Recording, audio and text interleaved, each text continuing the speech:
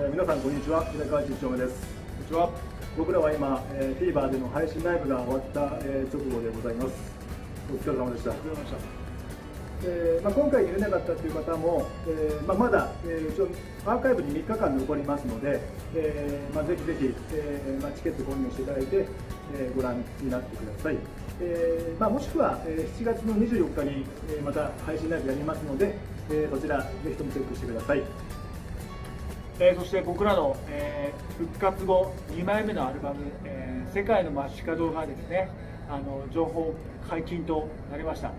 えーこちらのアルバムですね今までの平川地1丁目の作品の、まあ、どの作品と比べてもかなり、えバリエーション豊富なものになりました。あの